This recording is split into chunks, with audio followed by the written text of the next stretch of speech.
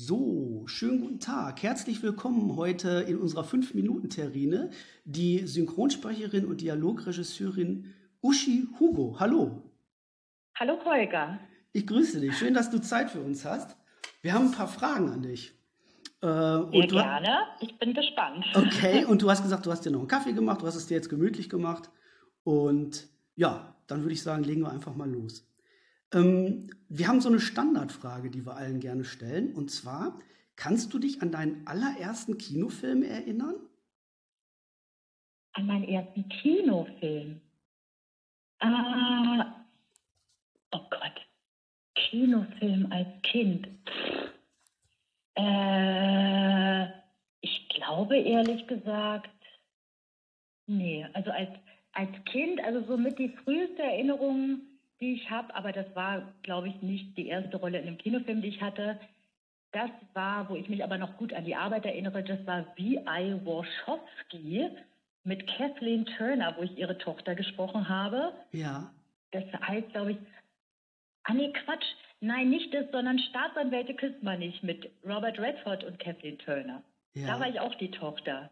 Das ist das Erste, woran ich mich so erinnere. Das war bei Andreas Pollack damals, der hat Regie gemacht. Ja als Kind davor war ich irgendwie zu klein, da erinnere ich mich nicht mehr dran, was ich dafür, also keine großen Rollen in Kinofilmen, glaube ich. Ja, nee, du, nee, du. Die Frage war, ob du dich an den ersten Kinofilm erinnern kannst, als du klein warst, als du ins Kino gegangen bist. Erste Mal, weißt du das noch? Ach so. Ja, ja. Ah, ach so, nicht, wo ich gesprochen habe. Nein, ähm, nee, dazu kommen wir gleich noch. Dazu kommen wir gleich noch. Der erste Kinofilm im Kino. Ähm, das wird wahrscheinlich auch nicht der erste gewesen sein. Ich weiß noch, also ich habe irgendwie ein paar von diesen Disney-Filmen gesehen und der erste, wo ich eine bleibende Erinnerung dran habe, war Taran und der Zauberkessel mit meiner großen Schwester Susanne, weil ich mich in dem Film fast zu Tode gefürchtet habe. Das, das hört war, man oft, war, ne? Das war ein Disney-Film, aber der war ganz schön gruselig mit so einem mit so einem Teufel, der total gruselig war. Also das weiß ich noch. Da war ich im Marmorhaus, was es nicht mehr gibt in Berlin, und da hatte ich Angst. Ja, das höre ich immer wieder, dass ähm, man als Kind in irgendwelche Trickfilme gegangen ist, gerade auch von Disney, und dass die äh, dann völlig fassungslos, schockiert und weinend aus dem Kino gekommen sind. Also scheinbar ist das nichts für Kinder. naja, manche Sachen sind schon hart, obwohl ich ja damals auch schon in gruseligen Filmen gesprochen hatte und eigentlich schon auch ein bisschen hart gesotten war oder also das nicht meine erste gruselige Erfahrung war. Aber ich habe dann auch Frau mit meinem Neffen gemacht. Also der war in, in, in dem Muppets-Film und hat angefangen zu weinen, weil er vor den Puppen Angst hat.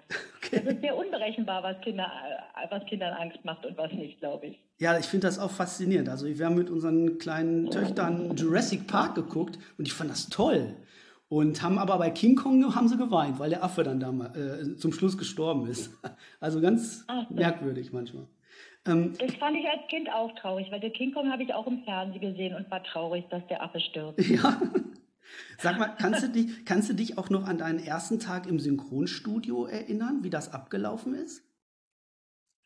Nee, erinnern äh, nicht. Das kenne ich nur aus Erzählungen, dass, das habe ich auch schon sehr oft erzählt, dass meine Schwester Dorette synchron gemacht hat und ähm, meine Mutter hat sie dann oft noch zum Synchron hingefahren und ich bin halt mitgekommen, weil ich klein war.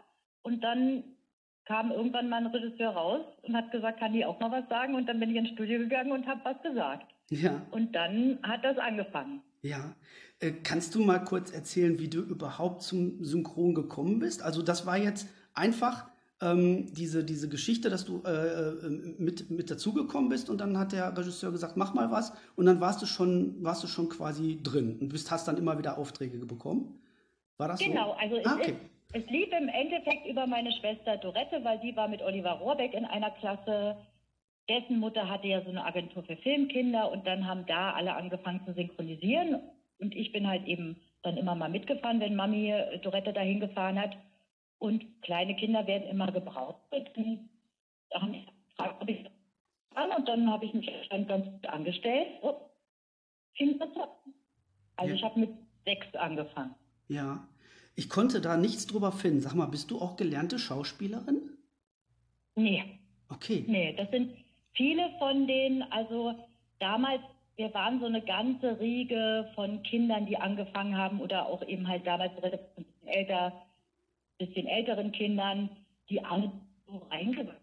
Und da als beim Synchron, man hat ja immer noch zusammen im Studio gestanden, da hat man sich das von den Erwachsenen abgeguckt.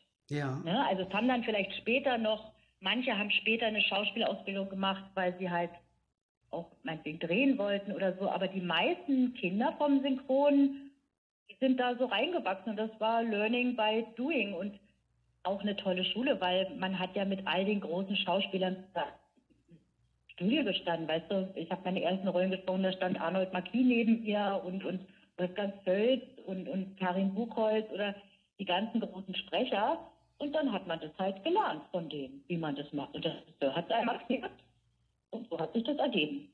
Bist du eigentlich auch ein Film-Fan? Ich frage deswegen, weil ich hatte letztens mal mit Martin Kessler gesprochen und der sagte, ich kann eigentlich mit Film gar nichts so anfangen. Der redet lieber Reiten oder so. Ähm, na, ich finde es ganz erstaunlich, dass ich eigentlich den Eindruck habe, dass die wenigsten meiner Kollegen sich besonders für Filme interessieren. Also vielleicht bei den Jungschen wieder mehr über diese ganzen Streaming-Dienste und so. Aber von meinen Kollegen hatte ich also jetzt nie so groß den Eindruck und ich liebe Filme. Also ich bin jemand, ich gehe regelmäßig ins Kino, ich gucke ganz viele Filme und habe auch immer viel Serien geguckt. Also mittlerweile komme ich einfach nicht mehr nach, habe ich gemerkt, weil ich einfach nicht so viel Zeit habe und auch jetzt bin ich mit den ganzen Streaming-Diensten, also erstens habe ich nicht alle und ich weiß nicht mehr, wann ich diese ganzen Sachen gucken soll, aber ich interessiere mich für Filme und ich finde es natürlich auch toll, also äh, auch wegen meiner Arbeit, weil ich immer das gut fand, wenn ich auch Schauspieler kannte oder wusste, was haben die schon gemacht oder wie funktionieren Filme. Das hat mir auch zum Beispiel bei meiner Regie geholfen, so, wo ich mal eine Serie gemacht habe, wo wir immer nur Folge für Folge aufgenommen haben und gar nicht wussten, wie es weitergeht, dass wenn du viele Serien und Filme geguckt hast, du dir ja oft denken kannst, okay, der kommt da schon vor, da wird eine Geschichte drum geben oder äh, bei bestimmten Sachen schon Vermutungen hast, weil du viele andere Sachen gesehen hast. Ja. Also ich finde Film toll. Ja. Und wie, wie, wie sieht ein perfekter Tag im, im Leben von Uschi Hugo aus? Was machst du gerne? Ein perfekter Tag. Ja. Wie würde der wohl aussehen? ich äh, in meinem Garten aufwache, draußen ein Kaffee zwitschern. Und heute habe ich schon Rasen gemäht, das mache ich jetzt nicht so gerne, aber ich kram irgendwas in meinem Garten rum. Später gehe ich noch schwimmen. Abends bin ich mit einem Freund verabredet. Das mache ich eigentlich am liebsten. Okay. Ich bin am liebsten draußen und es ist schönes Wetter. Okay, du hast einen grünen Daumen scheinbar. Total, Ja, total. Ich liebe das. Schön. Ähm, jetzt habe ich gerade gefragt, ob du Filmfan bist. Äh, Bevorzugst du irgendein spezielles Genre oder bist du offen für alles und sagst, ich gucke mir auch äh, gerne Horrorfilme an oder Schmonzetten oder so? Oder gibt es irgendwas, was du gar nicht magst? Ähm, also was ich am wenigsten mag, sind diese ganzen Marvel-Geschichten, also diese Superhelden-Sachen. Also am Anfang habe ich zwei und geguckt mir so wie Maguire und die alten Batman-Filme, also gerade die, ähm, äh, ach Gott, mir fällt immer keine Namen an, von dem Tollen, der auch Edward mit den Scherenhänden gemacht hat. Von Edward, äh, Tim Burton. Genau, der Tim Burton. Und genau und die von ähm, Fincher, die ähm, Batman-Filme fand ich auch gut. Aber sonst so Superhelden ist nicht so meins. Ich gucke an gruselige Sachen. Also ich bin da auch, ich habe ein paar Kumpels und wir gehen immer schön auf Fantasy-Filmfest. Und man mich auch ein bisschen verstört, was für krasse Filme ich mir angucken kann. Ich liebe auch Psychopathen. Ich gucke mir gerne welche an. ähm, Krimis. Ja, also am wenigsten muss ich sagen, mag ich so, so Superhelden. Filme. Ja. Das interessiert mich am wenigsten. Science Fiction, was wie Alien, ist, das ich meine, sind meine absoluten Lieblingsfilme, die alten. Sowas mag ich schon gerne. Ja. Ich habe ja damals mit meiner Frau zusammen, wir haben ja äh, Dexter gesuchtet. Ähm, wie war das für dich, als die Julie Benz dann äh, ermordet wurde? Kam das für dich auch so überraschend oder hast du vielleicht sogar äh, Regie, Dialogregie bei der Serie geführt? Oder wie, wie, wie hast du das empfunden? Nee, ich fand die Serie total super. Also, Extra fand ich ja großartig, weil da bin ich zum Probesprechen gegangen und ich hatte die Bücher gelesen, nach denen das gemacht ist. Ja. Wobei ich allerdings sagen muss, dass die Serie da deutlich geiler ist als die Bücher. Und ich fand es total super. Also, damals, wir durften auch noch, ich konnte da immer noch kriegen, um die vorher anzugucken. Jetzt mittlerweile ist es ja gar nicht mehr möglich, weil immer Geheimhaltung und was weiß ich was. Ich habe damals jede Folge Text gesehen. Ich fand fantastisch. Ja. Und ich muss aber sagen, also, dass meine stirbt, hat mir eine Freundin gespoilert. Kanada das schon gesehen hatte und meinte, ach, das ist ja blöd, dass sie stirbt und ich so, was? und, dann hast du sie, und dann hast du sie entfreundet, was? war ich ziemlich gefrustet, aber ich finde, sie stirbt spektakulär. Ich finde ja auch in der besten Staffel, weil der Trinity Killer ist einfach, also das fand ich beste Staffel. Ja. Und ihr Tod ist spektakulär.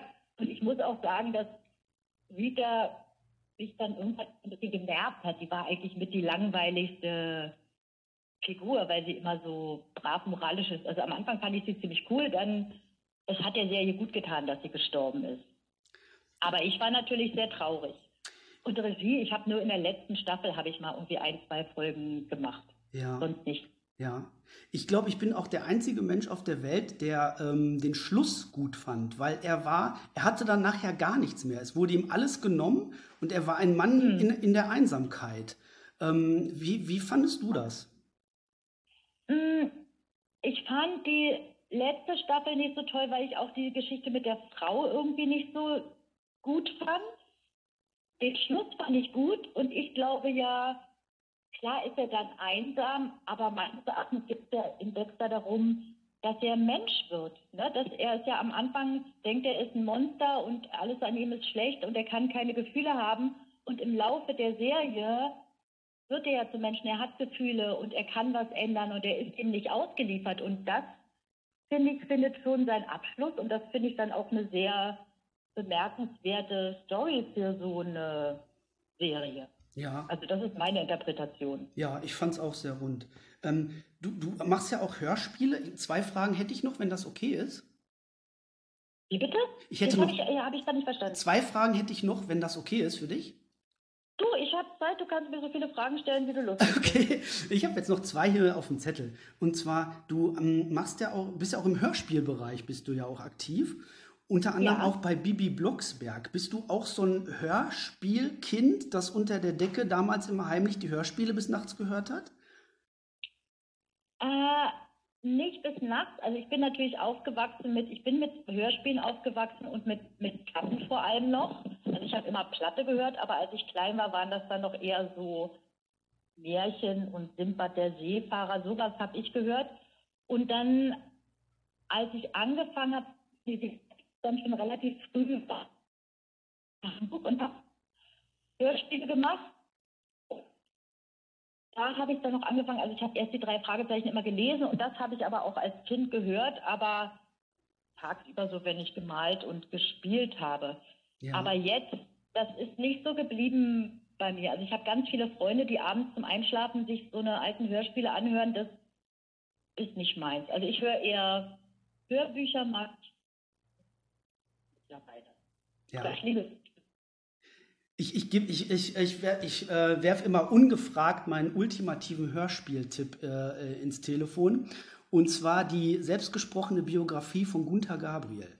Äh, äh, das ist ein unglaubliches Teil und der, der ähm, erzählt auch, also der liest das jetzt nicht vor oder so, sondern erzählt so echt frei Schnauze. Das ist total super, das kann ich dir nur empfehlen. Das kann ich mir gut vorstellen. Das ist ja auch ein Typ, der eine Menge erlebt hat und das kann ich mir vorstellen, dass der das gut macht. Ja. Das, das kann ich mir gut vorstellen. Und der hat natürlich auch eine fantastische Stimme. Ja, super. Also wärmste Empfehlung. Ähm, okay. Die, äh, wer einmal tief im Keller saß, heißt das. Okay. Ähm, oh ja, das hat er ja getan. ja, das stimmt. Einige Male. Ähm, zum Schluss würde äh, würd mich noch interessieren, was bei dir so für Zukunftsprojekte anliegen. Kannst du uns ein bisschen was darüber noch erzählen? Ach du, Zukunftsprojekte, also da beim Synchron, das ist alles so kurzfristig. Äh, da weit in die Zukunft zu denken. Also im Moment bin ich erstmal froh, dass wir alle wieder arbeiten. Ja. Und bin eher so ein bisschen, ne, denke ich so, okay, was passiert, wenn jetzt doch wieder einer krank wird oder wie geht das weiter oder alle wissen nicht so genau, ob es noch mal eine Lücke gibt, weil die in Amerika nicht gedreht haben. Ähm, ich bin ja jetzt nur in so ein paar Serien drin, wo ich weiß, dass es weitergeht und vielleicht ein paar Kinofilme, die kommen, aber das findet ja gerade gar nicht statt. Also jetzt im Moment, also ich gerade in Zeiten wie diesen besinnere ich mich darauf zurück, dass es nur was bringt, im Moment zu leben, weil alle Pläne, die man für die Zukunft macht, das kann eh alles ganz anders kommen. Ja. Also ja. so geht es mir gerade eher. Ich, ich mache gerade viele schöne Sachen und ich war auch bei ein paar Probesprechen, da darf man ja immer leider nicht drüber reden, soweit ja. ich weiß. Okay. Und da könnten ein paar schöne Sachen klappen, da würde ich mich sehr drauf freuen. Und im Moment muss ich auch sagen, ich spreche irgendwie nur in tollen Sachen mit und bin auch froh. Also ich bin wirklich froh, ob der Streaming-Dienste, weil ich finde, es werden tolle neue Dinge produziert und es wird halt auch, finde ich, sehr viel Neues produziert, was nicht amerikanisch ist. Und ich merke, es macht mir schon Spaß. Neulich war ich in so einer tollen französischen Krimiserie drin und jetzt habe ich in so einer tollen englischen Krimiserie gesprochen. Mir macht das schon Spaß. Also wenn da Menschen mitspielen, die aussehen wie normale Menschen und irgendwie auch ein bisschen anders spielen. Also ich finde, es gibt auch ganz viele tolle amerikanische Sachen, aber zwischendrin manchmal hat es sich so ein bisschen schon für mich abgenutzt. Ja. Okay. Ja, du, ich habe hier eigentlich gar nichts mehr auf dem Zettel. Das sind so die, die, die Sachen, die mich so, so interessiert haben, weil ja, man weiß halt gar nicht so viel über dich und was, was steckt da für ein Mensch dahinter. Und deswegen finde ich das immer ganz interessant. Ähm, ich möchte mich total äh, herzlich bedanken für die Arbeit bisher, die äh, uns nachhaltig äh, erhalten bleibt ähm, ähm, die tollen Filmstunden, die du uns beschert hast und Serienstunden. Und ich möchte dir alles Gute wünschen und danke dir nochmal herzlich für dieses kleine Gespräch. Ja, klar, gern geschehen. Darf ich auch noch eine Frage stellen? Wie bist du denn jetzt aber auf mich gekommen? Ähm, eine, äh, eine, gute Freundin von mir, die Lexi und ich, wir sind ganz große Synchronfans. Und ähm, also bei mir ist es immer so, äh, wenn ich mit meiner Frau vorm Fernseher hocke und ähm, dann kommt irgendwann äh, immer mal wieder die Frage, mal, wer, wessen Stimme ist das jetzt nochmal? Ne? Und weil, wenn, wenn es so eine prägnante oder schöne Stimme ist, ne? zum Beispiel die von ähm, die vom Nicolas Böll, die liebe ich total, ja, die erkenne ich sofort Aha. und ich weiß alles, was der gesprochen hat. Und dann gucke ich immer in dieser Synchrondatei nach und dann schaue ich immer, wer hat das gesprochen und ach guck mal, ja, und das hat der und oder diejenige auch noch gesprochen und super, super, super und so. Und ja, dann ich, ich ticker dann einfach die Leute an und frage, ob die Lust haben, mit mir ein bisschen zu quatschen. Manchmal klappt es, ja. meistens nicht, aber ich freue mich immer, wenn es dann klappt. Und bist du denn über Dexter auf mich gekommen oder was war sozusagen das, wo du gedacht hast, ah, das hat mir gut gefallen? Du, ich aber ad hoc komme ich da jetzt gar nicht drauf. Also ich hatte letztens noch mal Watchmen geguckt. Ah, ja, das den, ich fantastisch. Den liebe ich ja auch total. Ich habe ja diese super, mega, ultra XXL-Fassung mit diesem Comic noch in dem, in, äh, in dem Comic sozusagen. Also äh, den liebe ich total, den Film. Ähm, ja, und das ist auch meine Ausnahme von Superheldenfilmen. Ja, also bei denen fand ich auch richtig geil. Ja, so, so, so differente Charaktere einfach, ne? Die, die nicht, wo nicht immer alles fluppt und wo nicht immer alles toll ist und die auch Schattenseiten haben, sowas finde ich cool. Das fand ich auch bei den, bei den Nolan-Batmans, äh, fand ich das auch gut, mm. wo man hm. Auch vieles mal hinterfragen konnte, auch den Charakter mal hinterfragen konnte, ne? Oder die ähm, Charaktere sich in, in, Selbstzweifeln dann auch nochmal wiederfinden zum Teil. Sowas finde ich immer sehr äh, spannend einfach. Mm. Ja, und deswegen, also ich bin einfach ein riesen Synchron-Fan. und ähm, Sehr schön. wir wollen vielleicht demnächst auch mal was machen mit dem Hans-Georg Panschak. Äh, den dürfen ah. wir, wenn alles klappt, dürfen wir den mal besuchen kommen demnächst und da wollen wir so eine kleine Doku mal mit dem zusammen machen. Wir wollen den mal für einen Tag begleiten. Ach, toll. Du, und ich muss ja auch mal sagen, also ich kann mich als Sprecherin auch nur bei, bei dir und auch bei vielen anderen Fans bedanken, weil ich habe ja manchmal das Gefühl, weißt du, so die Auftraggeber, die denken immer, ach, synchron, das ist doch Quatsch, das braucht kein Mensch. Und ähm, also jetzt gerade auch übers Internet und so, natürlich kriegt man auch viel mehr Informationen. Das ist toll, dass es so viele Leute gibt, die sich dafür interessieren. Es ist toll, dass es so viele Leute gibt, die auch also Sachen darüber schreiben im Internet. Also zum Beispiel die Umstellung der GVL wäre für mich überhaupt gar nicht möglich gewesen, einzutragen, was ich alles in meinem Leben gemacht habe, wenn es nicht die Synchronkartei gäbe. Ja. Und ähm, dass ihr macht das natürlich auch bekannter dadurch, diese Branche. Und das ist ganz fantastisch, ehrlich gesagt. Ja. Vielen Dank. Ja, sehr, sehr gerne. Ich habe auf der, ich habe auch so eine Homepage. Das ist alles Hobby, weißt du? Ich habe letztens ja. auch mit zwei Kumpels ein Buch rausgegeben. Da habe ich auch ein paar Leute interviewt und die haben dann erzählt über äh, äh, Angst, also Leute, die aus dem Horrorkino, die Horrorfilme gedreht haben oder Maskenbildner oder so, was erzeugt Angst? Äh, oder was macht dir selber Angst? Warum guckst du dir das an oder warum fabrizierst du diese Scheußlichkeiten? Das war auch ein super tolles Projekt, aber es ist halt alles Hobby. Und ich habe ähm, auf, ja. der, auf der Homepage habe ich auch Synchronporträts. Ähm, ich schicke dir sowieso die, die, ähm, die, fertige, den fertigen Link schicke ich dir sowieso zu, ähm, dass ja. du das und auch die, mal den Link zu der Homepage. Und das habe ich schon, ich habe das schon geguckt und ich habe auch schon das Buch gesehen. Das fand ich nämlich ganz äh, spannend. Ja, ähm, ich, es war, hat, hat unheimlich Spaß gemacht. Es war halt nur eine Sauarbeit, also. Aber ähm, ja. es hat sich auf jeden Fall gelohnt. Ähm, magst, du, magst du vielleicht eins dieser Bücher haben? Darf ich dir eins kredenzen?